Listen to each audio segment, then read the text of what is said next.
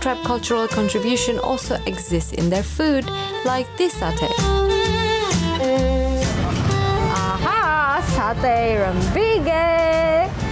Like most food in Lombok, satay Rembige, also named after the village where it came from, Rembige village. The signature of satay Rembige is that they don't put sauce on top of it like most satay in Indonesia.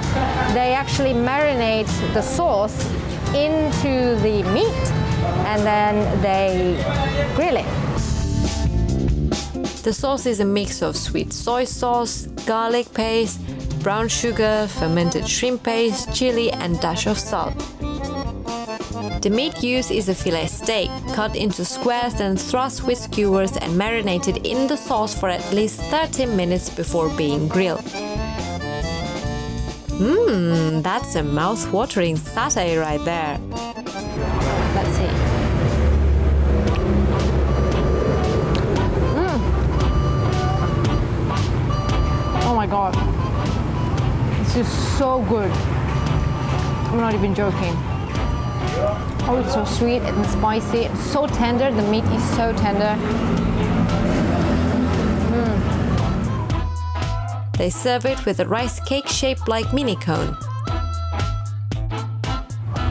How to tell a good rice cake is that if you smell it, it smells good, like the banana wrap. And then when you eat it, absolutely tender, melts in your mouth. That's a good rice cake. In addition to the satay, you can also order kangkung plecing. Hang on, did I explain to you what is kangkung plecing before? Okay, so kangkung plecing is not saute, it is blanched in hot water, then cooled down, served with many toppings and drizzled with some sambal plecing on it. I'm gonna eat this satay in one mouthful. This is most dangerous.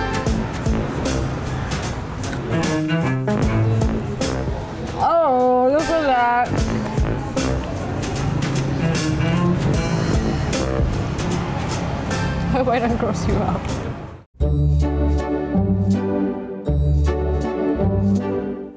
Mmm, yummy! That's a delightful lunch.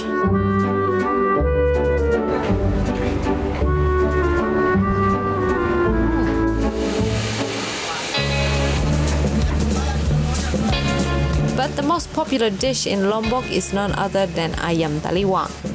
The dish was invented in 1970s. It is named after Karang Taliwang village in Mataram, the capital of Lombok. The chicken are free range and may be smaller but contain less fat and are a lot more tastier. Once the chicken is grilled halfway, it's later removed from the grill and tenderized with a pestle. For flavor, the chicken is dipped in cooking oil. After several seconds in the oil, it's covered in spicy sauce of garlic, chili, and shrimp paste. Then it's ready for the final grill or fry, depending on how you want the chicken cooked. Time to put the dish to the test.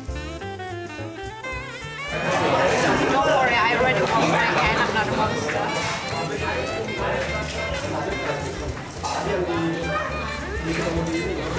Even though it did not went through process, well seasoned, I can take the uh.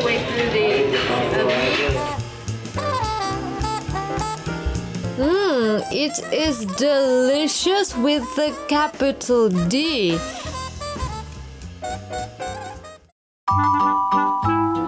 The side dishes that go along with ayam taliwang is the type of menu served in Lombok cuisine. Another kangkung plecing, beberuk, and cucumbers are served to cleanse the palate and balance the heat from the sauce. I ordered the plecing one and it's more spicy than the taliwang sauce. My tolerance for spicy food is quite high, but if you can't take the heat, try the taliwang one. It tastes just as good.